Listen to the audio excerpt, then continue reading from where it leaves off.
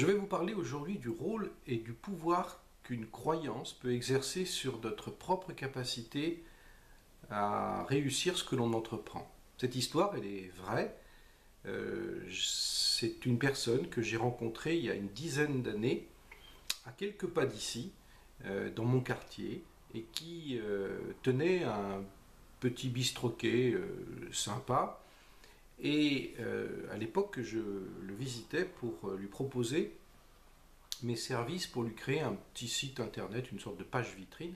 Mais là n'est pas tellement la question. Lorsque je l'ai rencontré, figurez-vous qu'il m'a donné une fin de non-recevoir. Il m'a dit non, je, n'accepte pas cette offre parce que je vais euh, arrêter mon activité. Ah, j'étais surpris, je lui ai dit ah bon euh, Je voyais bien que ça n'allait pas très très bien, il n'y avait pas beaucoup de monde dans, son, dans bistrot, mais bon, je n'avais pas plus de précision que cela. Et je le rencontre, et en discutant avec lui, il me dit voilà, euh, vous voyez ici, sans ce quartier, bah, je suis tout seul.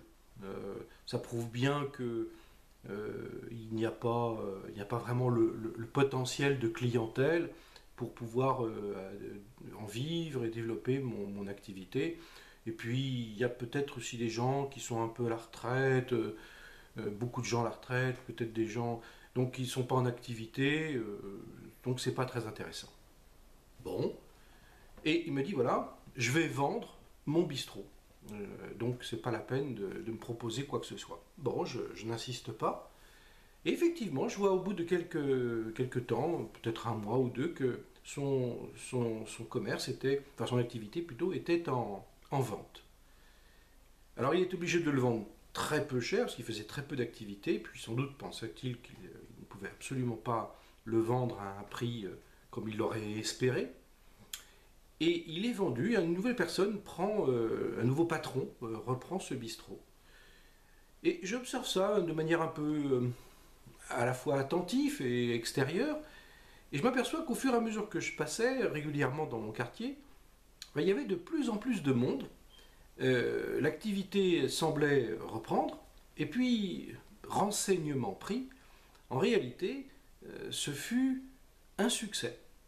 Le nouveau propriétaire, qui était dans les mêmes lieux, avec le même, la même situation, les, la même clientèle, on va dire potentielle, eh bien ça réussissait euh, relativement bien. Ce n'était pas un immense succès, mais quand même, c'était intéressant à remarquer.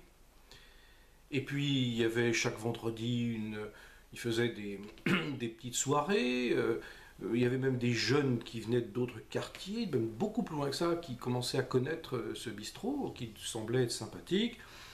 Lorsqu'il y avait un match, il s'arrangeait pour que les gens puissent venir euh, regarder le match entre amis, etc., etc., etc. Il a même invité le maire pour des on va dire, des trimestres de rencontres avec, euh, avec la population dans son bistrot, ce qui est tout à fait une belle idée. Et puis, euh, en, discutant avec lui un jour, eh bien, je me suis rendu compte que lui avait une toute autre vision des choses lorsqu'il a repris ce bistrot. Il s'est dit, mais je suis tout seul, et donc je n'ai pas de concurrent.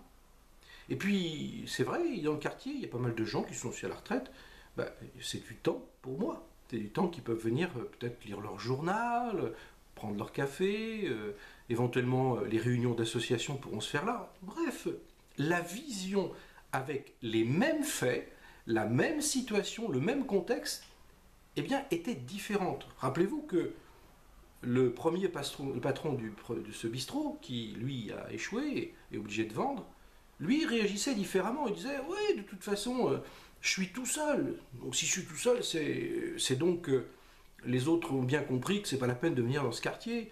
Et puis si les gens ne travaillent pas dans, beaucoup dans ce quartier, ils n'ont pas beaucoup d'argent. Eh bien, sa vision, euh, en tout cas entre le premier patron et le deuxième patron, d'une situation identique, était radicalement opposée. Le résultat, c'est qu'il n'était pas in fine le même. Dans le premier, ça a été l'échec, obligé de vendre ça une bouchée de pain, et dans l'autre, c'était la réussite, et puis euh, avec bien évidemment euh, beaucoup de, clients euh, réguliers et satisfait finalement des services de ce, nouveau bistrot. Je vous dis cela parce que il est important de toujours considérer et de mettre une, une sorte de fossé entre ce que nous vivons réellement dans le contexte dans lequel on est, c'est-à-dire une forme de réalité, et ce dont on est capable d'interpréter par notre imaginaire ce dont on vit. J'insiste euh, là-dessus parce que si votre imaginaire est capable d'envisager que ce que vous vivez est un contexte limité, d'un contexte euh, euh, qui ne vous offre pas d'opportunités, qui ne vous donne pas de capacité d'éventuellement de, vous épanouir ou de réussir, eh bien, ça sera sans doute le cas.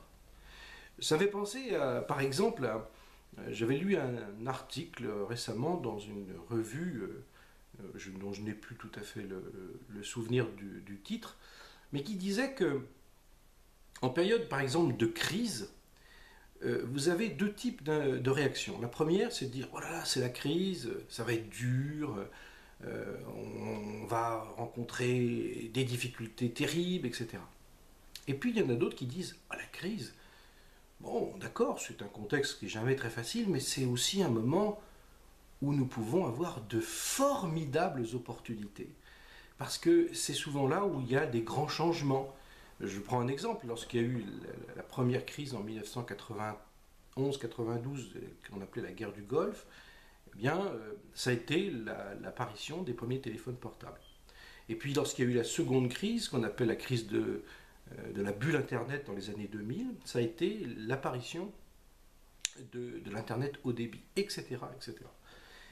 Eh bien, je vous le dis, dans votre vie de tous les jours, eh bien, quand vous rencontrez des situations qui peuvent être jugées difficiles, des situations de crise, comme on peut tous en rencontrer, on en rencontre finalement tous, eh bien, faites en sorte que vos croyances et que votre imaginaire surtout ne vous joue pas des tours. Et qu'au contraire, euh, voyez ça sous un angle différent en vous disant ben, finalement, euh, mais quelle est la chance derrière tout ça? Quelles sont les opportunités qui peuvent se présenter dans la situation que je vis Vous allez changer votre état d'esprit et votre imaginaire ne sera plus, euh, en tout cas, là pour vous jouer de mauvais tours, mais peut-être au contraire pour vous ouvrir des perspectives. Merci de votre attention et à très bientôt.